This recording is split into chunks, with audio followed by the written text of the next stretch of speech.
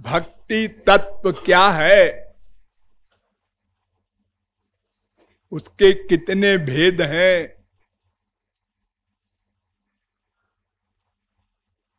उससे क्या लक्ष्य प्राप्त होता है? इत्यादि अनेकानेक प्रश्न हैं, जिनका समाधान आवश्यक है। तदर्थ हमारे सनातन धर्म में तीन प्रस्थान होते हैं। श्रुति प्रस्थान स्मृति प्रस्थान और न्याय प्रस्थान इन तीन मार्गों के द्वारा, तीन उपायों के द्वारा किसी तत्व का निर्णय होता है। श्रुति प्रस्थान में उपनिषद है। उपनिषद वेद के उत्तर भाग का नाम है। वेद में दो भाग है, पूर्व भाग और उत्तर भाग। उत्तर भाग में उपनिषद है। पूर्व भाग में कर्म कांड है। अस्सी हज़ार वेद की ऋचाएँ पूर्व भाग में कर्मकांड संबंधी हैं और सोलह हज़ार उपासना संबंधी हैं। और चार हज़ार ज्ञान संबंधी हैं। तो श्रुति प्रस्थान माने उपनिषद के द्वारा जो तत्व का निर्णय हो, वो सर्वोच्च है। उसको सबको मानना पड़ेगा। जितने वेदांत न्याय सांख्य मीमांसा पातंजल वैशेषिक दर्शन शास्त्र है, इनके आचार्यों को भी श्रुति प्रस्थान माने उपनिषद का प्रमाण मानना होगा। तभी उसको हम आस्तिक दर्शन कहेंगे, आस्तिक मत कहेंगे। और दूसरा है स्मृति प्रस्थान ये स्मृति प्रस्थान श्रुति के अनुकूल ऋषियों ने लिखे हैं। श्रुति सम्मत है, उपनिषद से सम्मत है, लेकिन अनाद्यनंत शाश्वत पुनदोष शंका, पंक, कलंक से सर्वथा असंस्पृष्ट। वेद की तरह नहीं है। जैसे वेद व्यास ने गीता आदि ग्रंथ बनाए हैं, ये स्मृति प्रस्थान है। और न्याय प्रस्थान भी वेद व्यास का बनाया हुआ वेदांत ग्रंथ है। जिसको शारीरिक भाष्य भी कहते हैं। ब्रह्मसूत्र भी कहते हैं। तो इन तीन प्रस्थानों के द्वारा हमारे यहाँ किसी तत्व का निर्णय होता है। इसके अतिरिक्त जो मानवकृत ग्रंथ है अर्थात मायाधीन मानवकृत वे हज़ारों हैं। एक गीता ग्रंथ पर हज़ारों अर्थ लिखने वाले हुए हैं।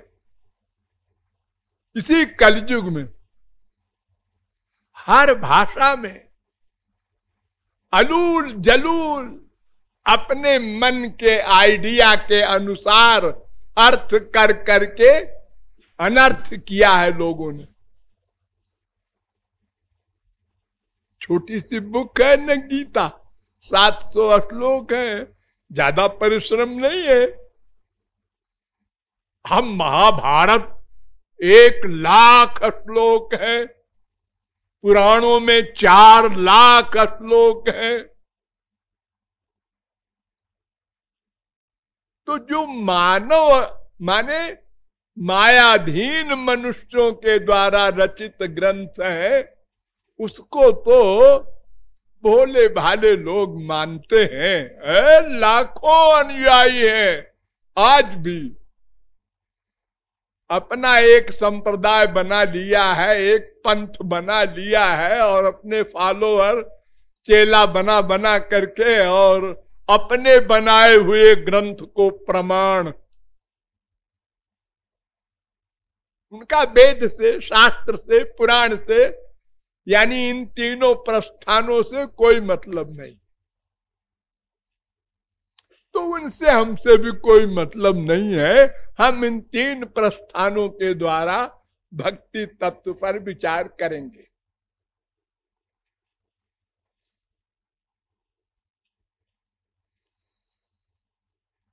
वेद कहता है कि देखो तीन तत्व हैं। एतज्ञेयम नित्यमेवात्म संस्थम नाता परम वेदितव्यम ही किंचित भोक्ता भोग्यम प्रेरितारंच मत्वा सर्वम प्रोक्तम त्रिविधम ब्रह्म में तत् श्वेताश्वतरोपनिषद पहले अध्याय का बारहवा मंत्र। ये मंत्र कहता है कि तीन तत्व सनातन तत्व है, चौथा तत्व न कोई था, न है, न होगा। एक का नाम भोक्ता, एक का नाम भोग्य, एक का नाम प्रेरक। भोक्ता ब्रह्म किसे कहते हैं? आत्मान रथिनम विद्धि शरीरम रथ में तो बुद्धिम तुषारथिम विद्धि। मन प्रग्रह में वच इंद्रियाण हयानाहुर, विषयांस्तेषु गोचरान। आत्मेन्द्रिय मनोयुक्तम भोक्ते त्याहुर मनीषिणा।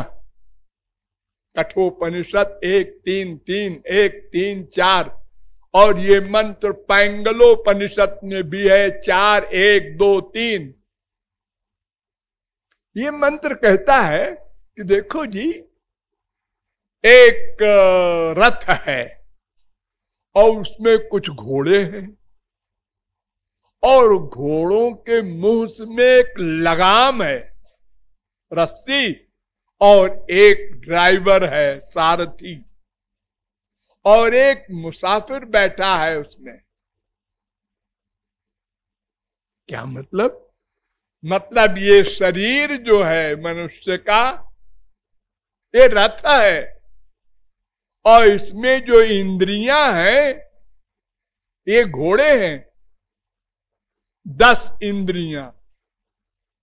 और ग्यारहवीं जो इंद्रिया है, इंद्रिय है, मन वो लगाम है।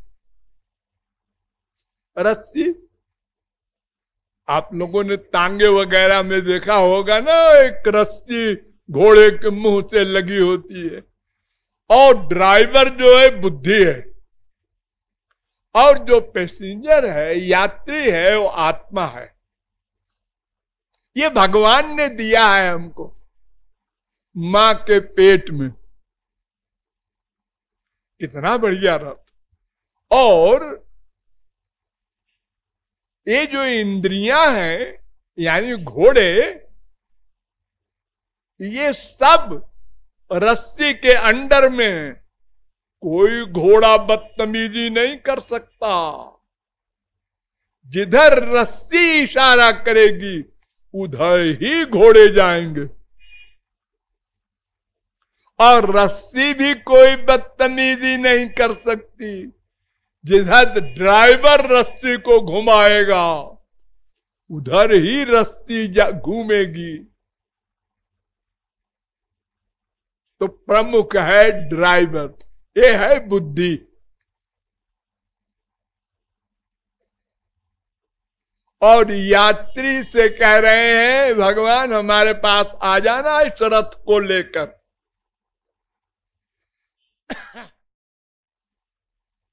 लेकिन बुद्धि ने, यानी सारथी ने शराब पी रखी है।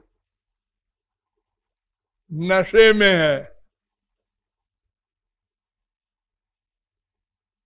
तो नशे में होने के कारण उसे यही पता नहीं है कि जहाँ जाना है वो किधर है।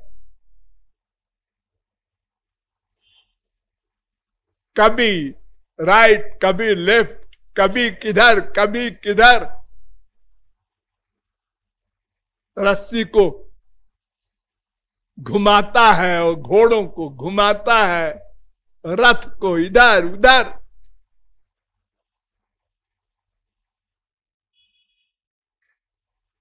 ये भोक्ता ब्रह्म है। और इस भोक्ता ब्रह्म को ये रथ जो दिया गया है और इंद्रिय मन बुद्धि में जो पावर दी है, उसका नाम प्रेरक, भगवान। और एक और है शक्ति, जड़ माया।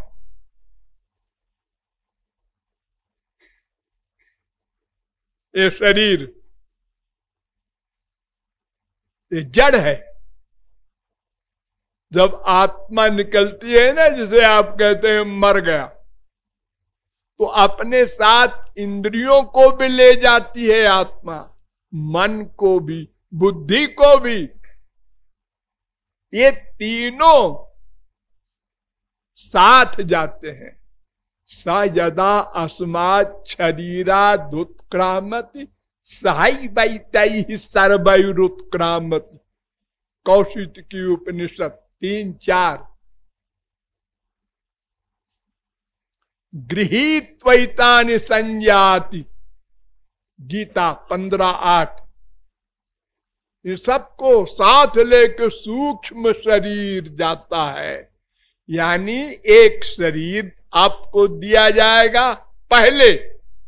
उसके साथ सूक्ष्म इंद्रिया, सूक्ष्म मन, सूक्ष्म बुद्धि, ये सब हिसाब बैठा करके तब शरीर से आत्मा निकलता है। तो ये पंच महाभूत का शरीर जड़ है, माया का, ये रह जाता है। तो इस प्रकार ये तीन हुए। ब्रह्म और माया और तीसरा जो है हम लोग है, यात्री। हाँ। अब हमको भगवान के पास जाना है। भगवान के पास क्यों जाना है जी?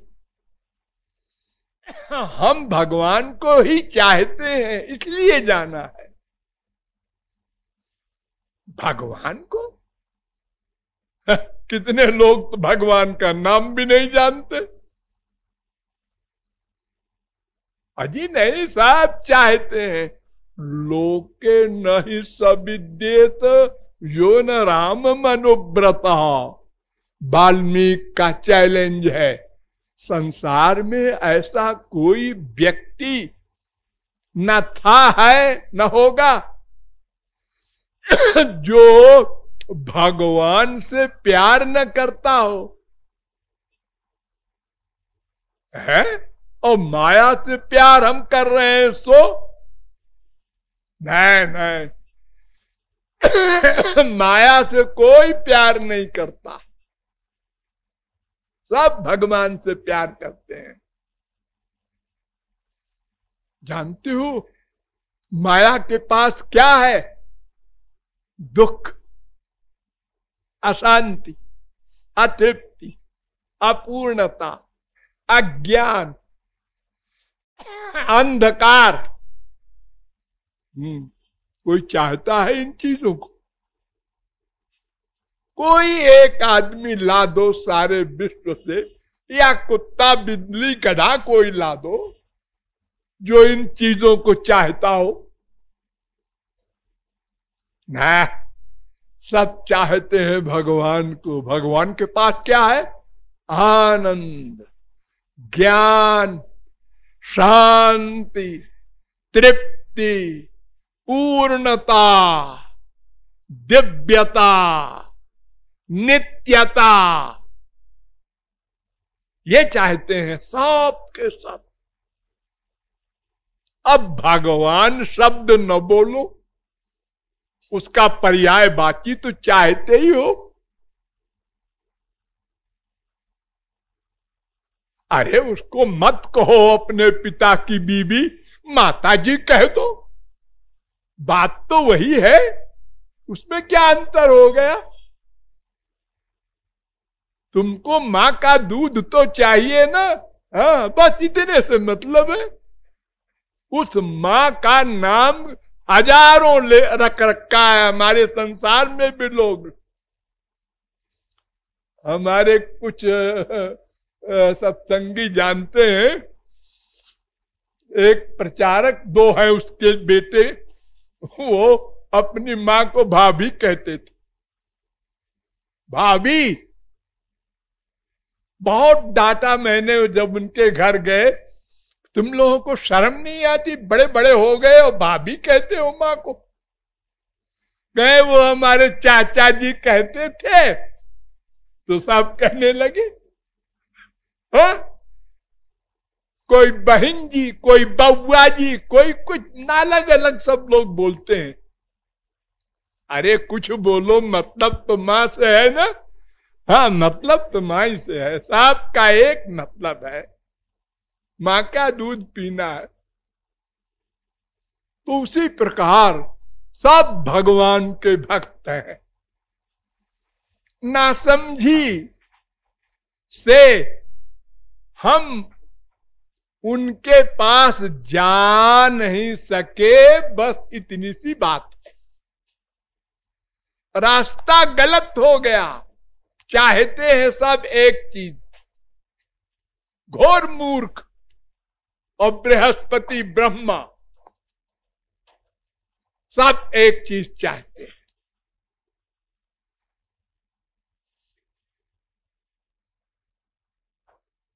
तो अब पता लगाना है, वो सही मार्ग क्या है? बस सीधी सी एक बात। तो वेद ने कहा यस देवे परा भक्तिर यथा देवे तथा गुरु तस्ते कथिता यथा प्रकाशयंते महात्मना। देखो जी, भक्ति करनी होगी, भगवान की। हा, भक्ति। भक्ति शब्द का क्या अर्थ है? मन का समर्पण।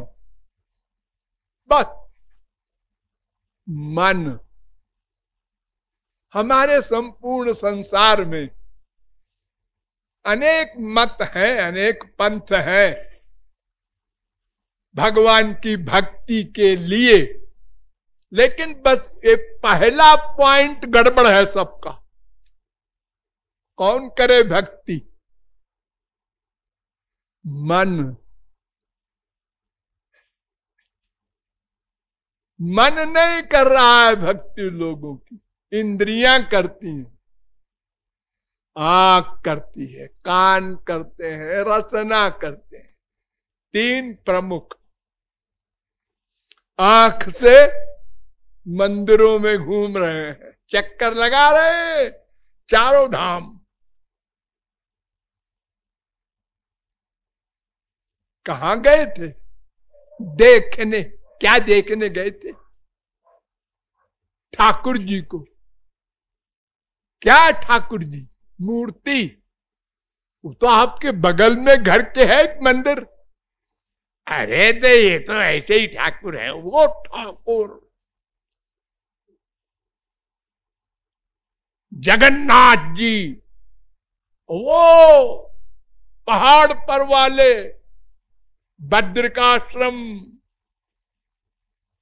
वो बड़े ठाकुर जी हैं। ठाकुरों में भी छोटे बड़े होते सही बटा होता है। एक बटे चार, एक बटे आठ, एक बटे दस, ऐसा है क्या? नहीं जी, ऐसा तो नहीं है।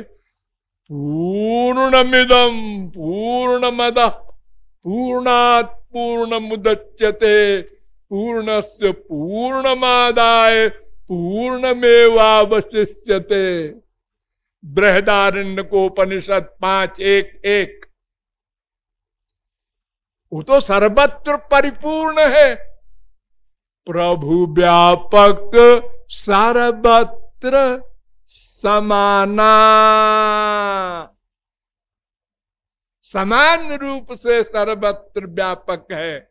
जैसे गोलोक में है, ऐसे नरक में है, ऐसे ही मृत्यु लोक में है, ऐसे ही महापुरुषों के हृदय में है और ऐसे ही राक्षसों के हृदय में भी बैठा है निरंतर। एक लाख गाली दो, वो हृदय से नहीं निकलेगा, बड़ा बेहया है। हम संसार में किसी को दस, बीस गाली दे तो वो उसके घर जाएगा दोबारा भला। एक गाली में, और मामूली दे दे गाली गेट आउट अरे, हमसे कहा गेट आउट अब मैं उसके घर कभी मरते समय भी नहीं जाऊँगा। अरे गेट आउट का मतलब क्या होता है? हमारे दरवाजे से बाहर चले जाओ। तो क्या हो गया है? गाली है कोई? हे अरे इतनी बड़ी इंसल्ट है, आपको मज़ाक पूछता? है? हमारा साला हमसे कह दे गेट आउट और फिर मैं उसके घर जाऊँ। और भगवान कैसे हैं हमारे? दिन रात गाली देते हैं हम लोग। भूले हुए हैं, कुछ मतलब नहीं है। हमारा बेटा मर गया है। क्या भगवान भगवान करते हैं? उसके सात बेटे थे, आठवां हो गया, हमारे एक ही था, मर गया। क्या भगवान भगवान की बात करते हैं? वो सुन रहा है, नोट कर रहा है। आपको भी इसी पृथ्वी पर चलने की, यही जल पीने की, यही पदार्थ खाने की रियायत है, छूट है। गाली दिए जाओ, हम तुमको सब कुछ देंगे। उसी प्रकार जैसे अपने महापुरुषों को देते हैं। हमारा संसार वाला अगर कोई अपमान करे, बेटा, बाप तो लोग घर छोड़ के भाग जाते हैं?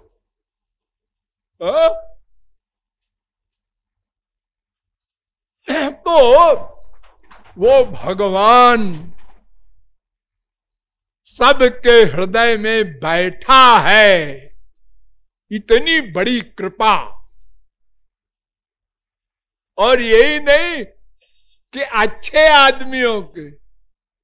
अरे, प्रहलाद से हिरण कशपू ने कहा, तेरा भगवान मेरे राक्षस के घर में है।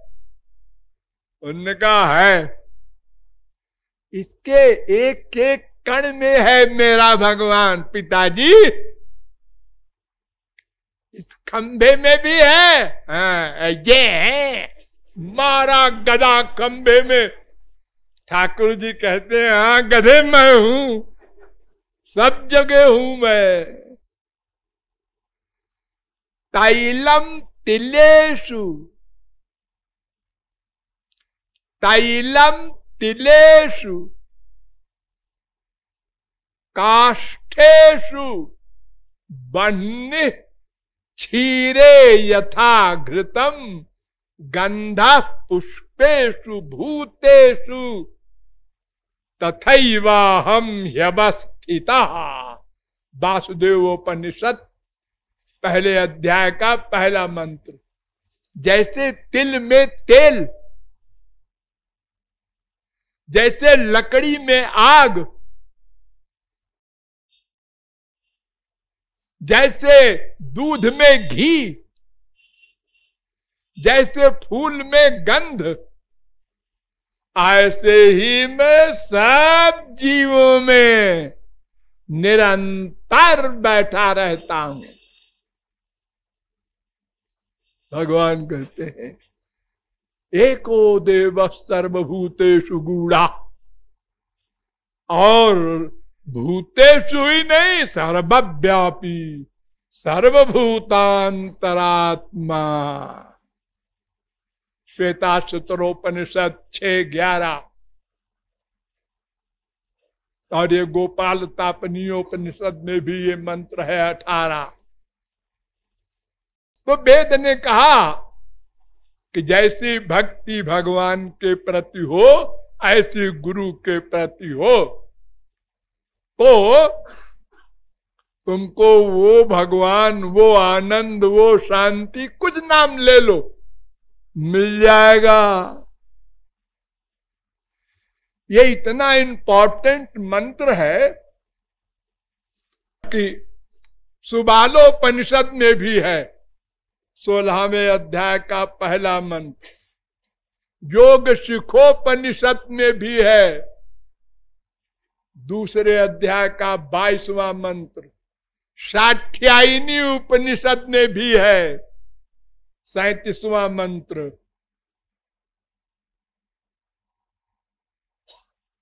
केवल भक्ति।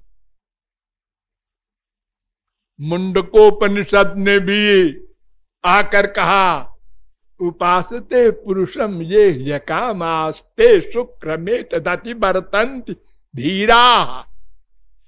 आप दुख से, अशांति से छुटकारा पाना चाहते हैं, आनंद चाहते हैं तो समस्त कामनाओं को छोड़ छोड़कर मन को भगवान में अर्पित कर दो, मन को मन को।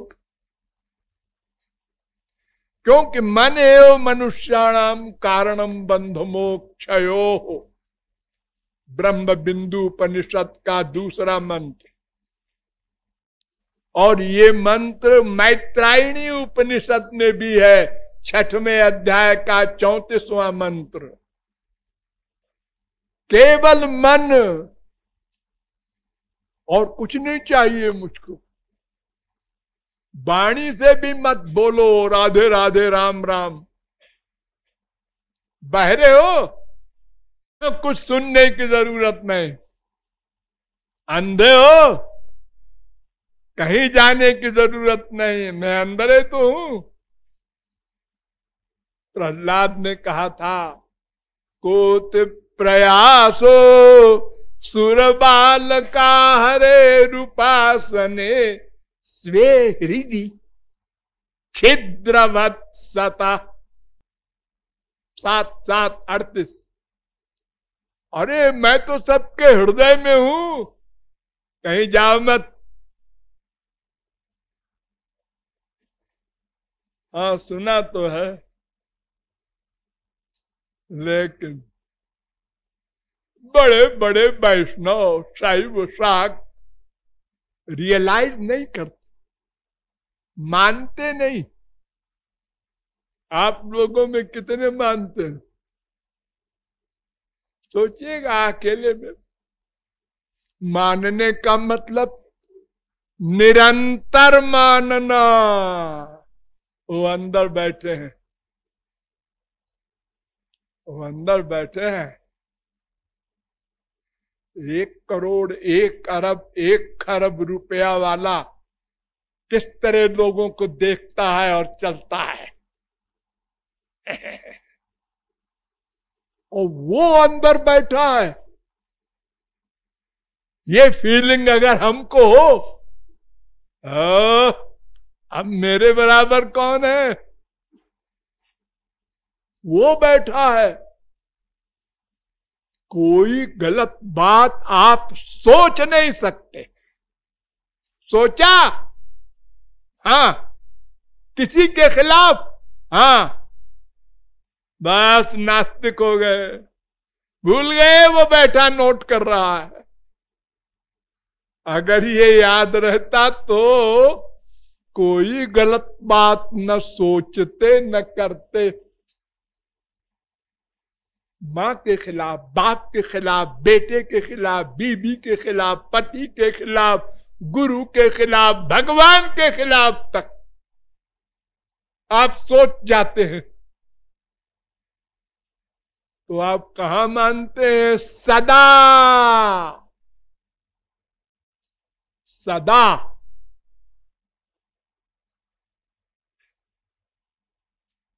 जैसे आप ये मानते हैं, मैं पुरुष हूँ, स्त्री मानती है, मैं स्त्री हूँ तो सदा मानती है ना?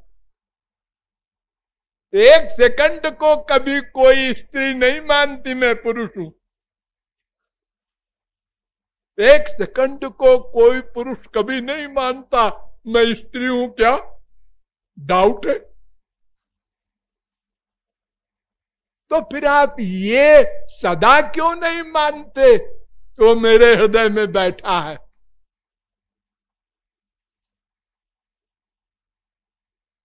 वेद कहता है अस्ति तत्व प्रसिदति। अगर तुम ये मान लो, सदा कि मेरे अंदर बैठा है, बस भगवत प्राप्ति हो जाए। कुछ नहीं करना। लेकिन सदा माने रहो प्रति सेकंड। फिर तुम शुद्ध हो जाओगे। क्योंकि गलत चिंतन करोगे ही नहीं। तो वेद कह रहा है, बंधन और मोक्ष का कारण मन है। साध्यायनी उपनिषद में भी ये मंत्र है, मन यो मनुष्याणाम कारणम बंध मोक्ष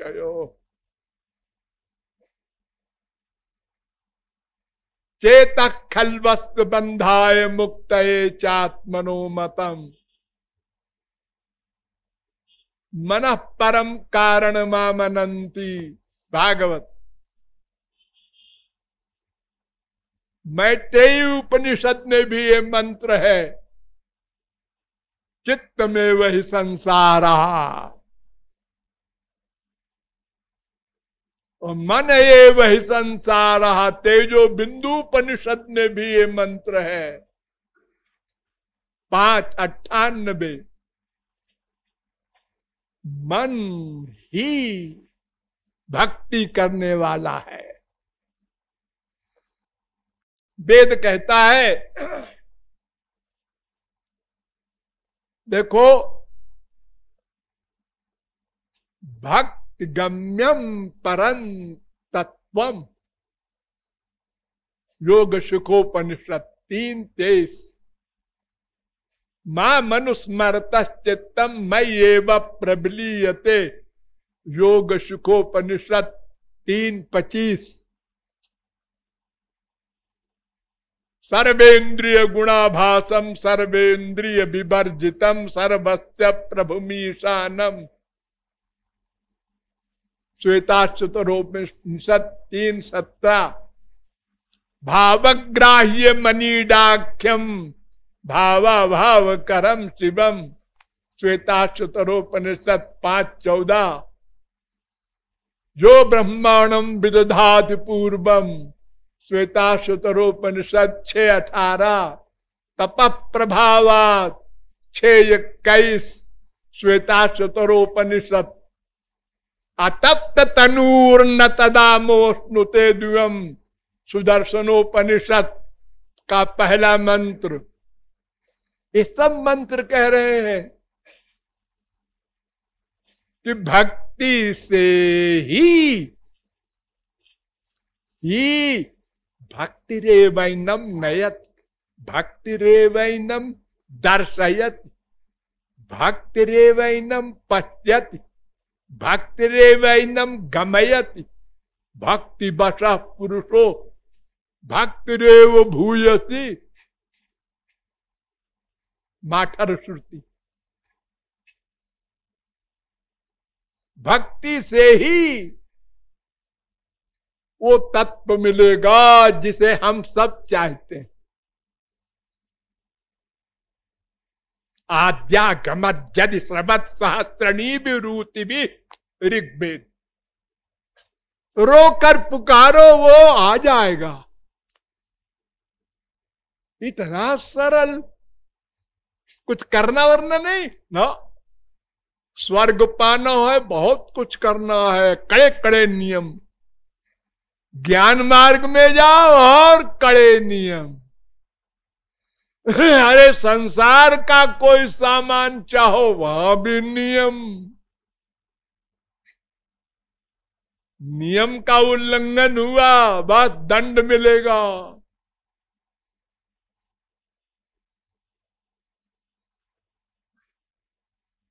कोई व्यक्ति शरीर के खिलाफ बगावत कर दे, दंड मिलेगा। ज़्यादा खा गए हाँ भोगो। खाए ही नहीं कई दिन से हाँ भोगो। महात्मा बुद्ध ने सोचा, खाना पीना बंद करो, और ध्यान करो। आठ दस दिन नहीं खाए, चक्कर आने लगा। तो कुछ स्त्रियाँ जा रही थी, गाना गाते हुए। उनका गाना था कि, ऐ गवैये, तानपुरा का तार कस के गाया कर। अगर तानपुरे का तार कसेगा नहीं, कोई तो आवाज़ नहीं आएगी। लेकिन इतना न कस के तार टूट जाए। महात्मा बुद्ध ने सुना एक गाना। उन्होंने कहा, ये बेपढ़ी लिखी औरतें इतनी बारीक बात कह गई। हाँ गीता में भी लिखा है नात्यस्नतस्तु जो गोस्त न चैकांत मनस्नता युक्ताहार विहार युक्त चेष्ट कर्मसु छ सोलह छ सत्रह अत्याहार मनाहारम अमृत नादोपनिषद अधिक खाओगे, दंड मिलेगा। नहीं खाओगे, दंड मिलेगा। जागोगे लगातार कई दिन, दंड मिलेगा। लगातार सोते रहोगे, दंड मिलेगा। ये प्रकृति ही दंड देती है। भगवान वगैरह का नंबर तो बाद में आएगा। हाँ। देखो, इतना मेडिकल आपके लिए बताया जाता है, इतने सारे विटामिन होते हैं। हाँ इतनी कैलोरी होती है। सबका ठीक ठीक प्रोटीन हिसाब कंप्लीट रखो। जरा गड़बड़ हुआ, दंड मिलेगा। वो डॉक्टर को भी नहीं छोड़ेगा। कोई हो। तो मन ही एकमात्र बंधन और मोक्ष का कारण है। जो देव मुत्तरावंत मुपासाते सनातनम अथर्व वेद कस्य नूनम कतमस्यामृता नाम मना महे चारुदेव से नाम ऋग्वेद। अग्नेर वयम प्रथम से मना महे चारुदेव से नाम ऋग्वेद। तमस्माकम तवस्मसी ऋग्वेद, तस्ते भक्तिमान सस्याम अथर्व वेद ये सब वेद मंत्र कह रहे हैं, केवल भक्ति एक मार्ग है। और कोई मार्ग नहीं। कैसे करें? भक्ति वो भी कह दिया वेदांत आसीन संभवात चार एक साथ ध्यानाच चार एक आठ अचलत्व चापेक्ष चार एक नौ स्मरंती चार एक दस यत्रकाग्रता तत्रा विशेषा चार एक ग्यारह आप्रणा तथा दृष्टम चार एक बारह अप संराधने प्रत्यक्षानुमानाभ्याम तीन दो तेईस।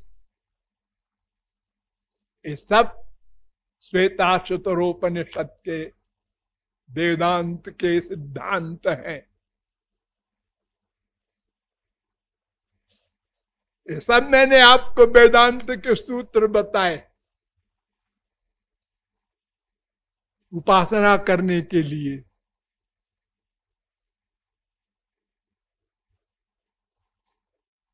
ये जीव के विषय में जो कुछ भोले लोग कहते हैं कि केवल भगवान ही तो है, जीव हो कहा आ गया आपने एक टांगड़ा दी जीव की।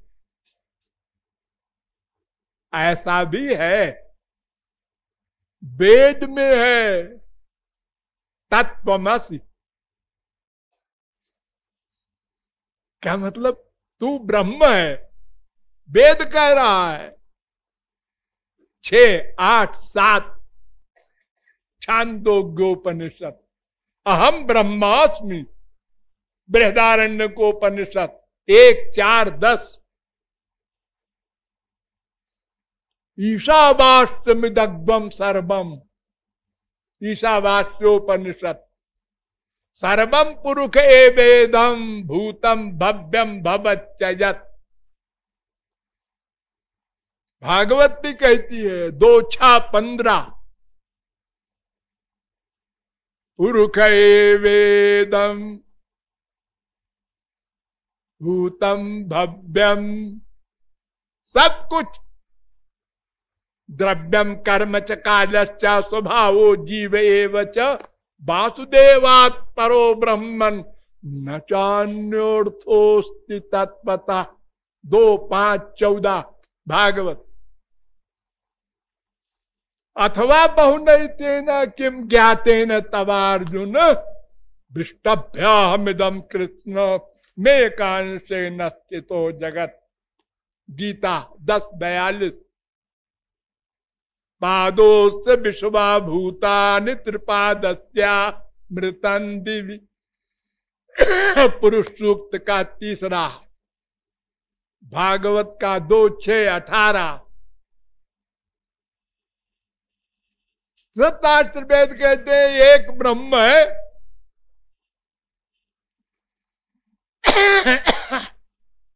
एकम सद्विप्रा बहुधा बदंती एकम संतम बहुधा कल्पयंती एक है। हाँ ये भी कहा है। और दो है, ये भी कहा है। द्वासुपर्णा सविजा सखाया समानम वृक्षम परिकत्व जाते श्वेता शतरोपनिषद चार छ और तीन तो मैंने आपको बताया ही। सब सही है। क्यों?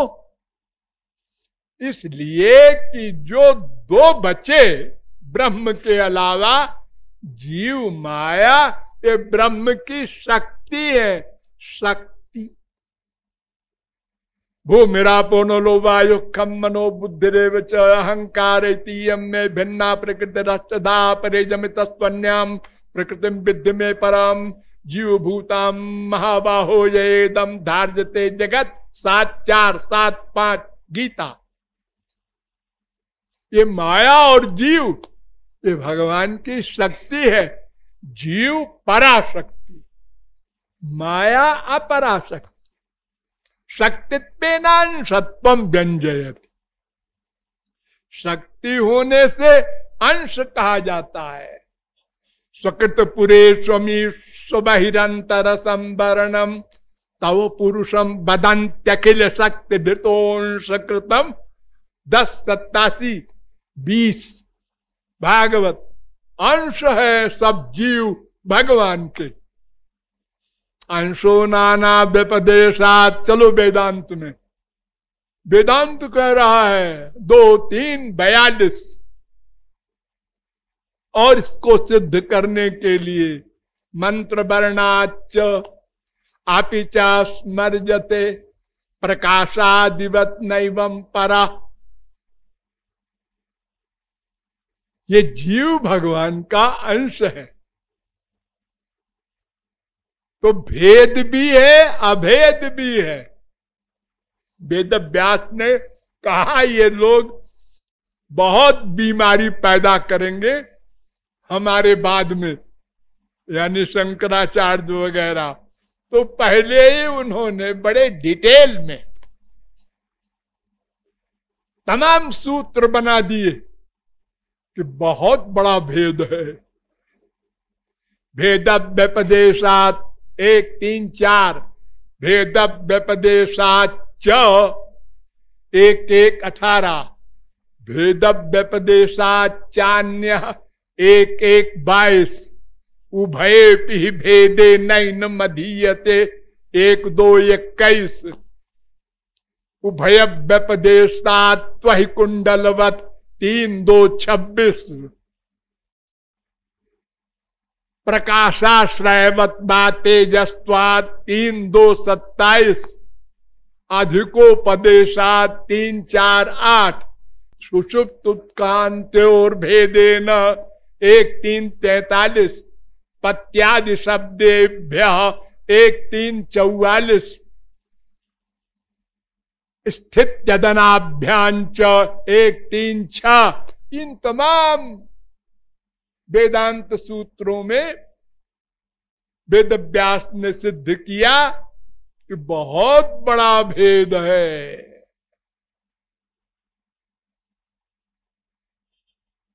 और लॉजिक से भी सिद्ध किया।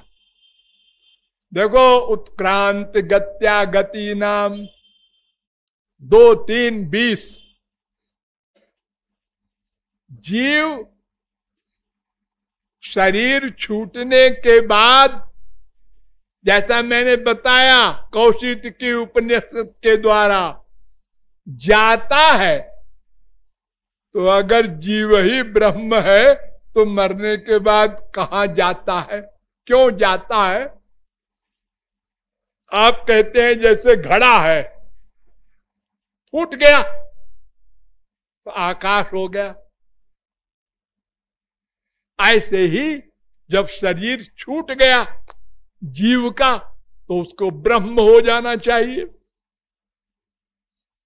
हो जाता है कर्म फल भोगने। और ये वही के चस्माल लोकात प्रयंत चंद्रमसमेव ते गच्छन्ति। कौशिक की उपनिषद एक दो और लोकात पुनरे त्यस्मय लोकाय कर्मणे।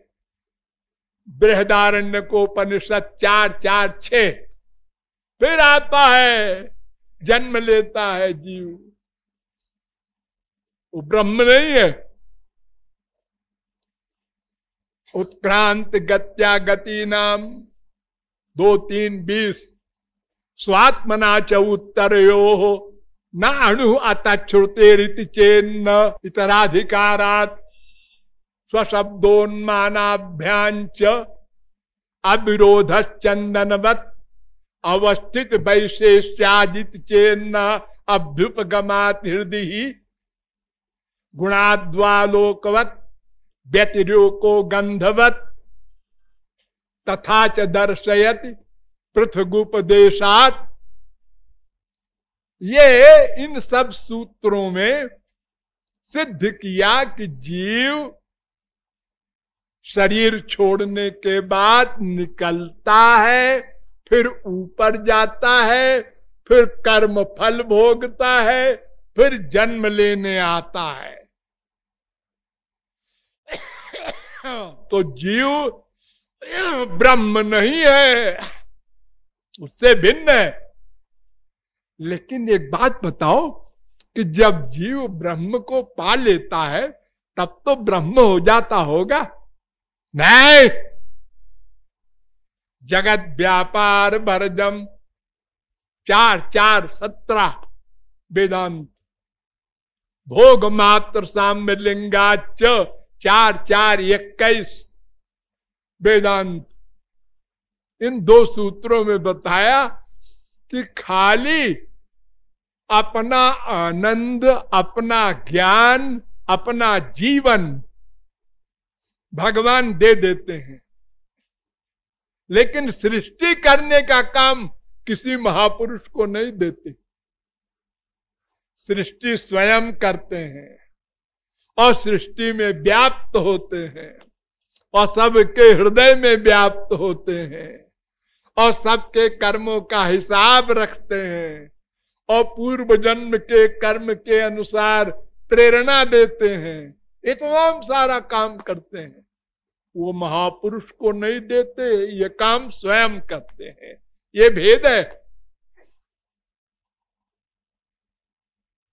और जीव नित्य दास है। वो स्वामी नहीं बन जाएगा, फिर तो कितने भगवान हो जाते? अगर प्रत्येक जीव महापुरुष बनने के बाद भगवान बन जाए तो फिर निरे भगवान हो जाएँगे। ऐसा कैसे होगा? फिर वो वेद मंत्र क्या है?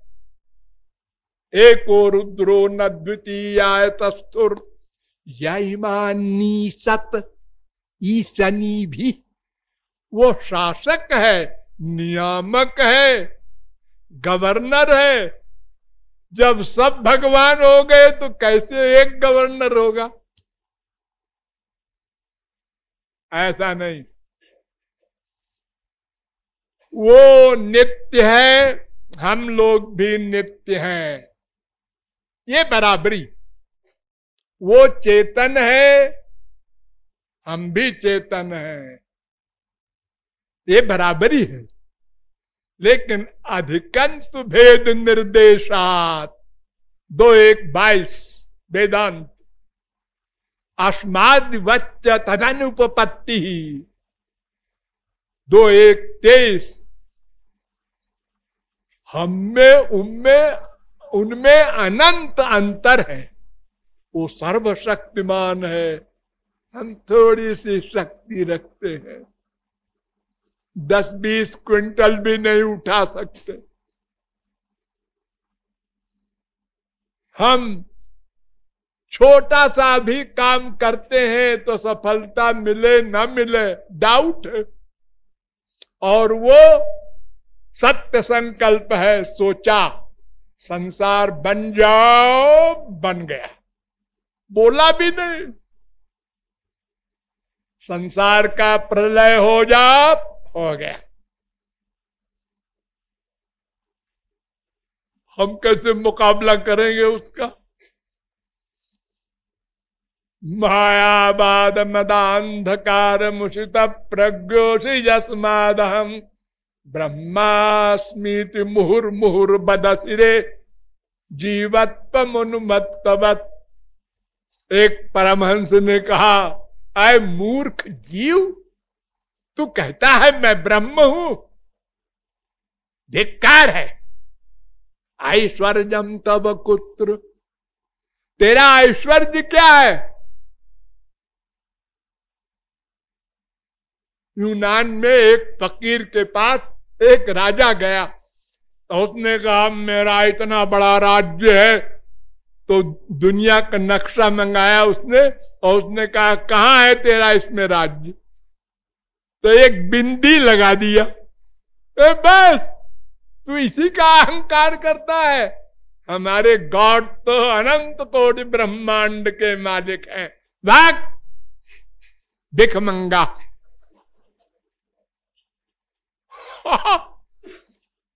और हम लोग एक लाख एक करोड़ हो गया। एक करम हो गया। एक मोहल्ला भी नहीं खरीद सकते। क्या हैसियत है तुम्हारी, जो अहंकार कर रहे हो? तो जीव और ब्रह्म में बहुत भेद है, और भगवत प्राप्ति के बाद भी इतना सा भेद रह जाएगा। सृष्टि करने का कार्य भगवान स्वयं करेंगे। ये भेद भी है, अभेद भी है। और जीव तटस्थ शक्ति है, दास है, सदा दास रहेगा और भक्ति के द्वारा ही लक्ष्य की प्राप्ति होगी। डिटेल फिर कभी। लाडली लाल की राधे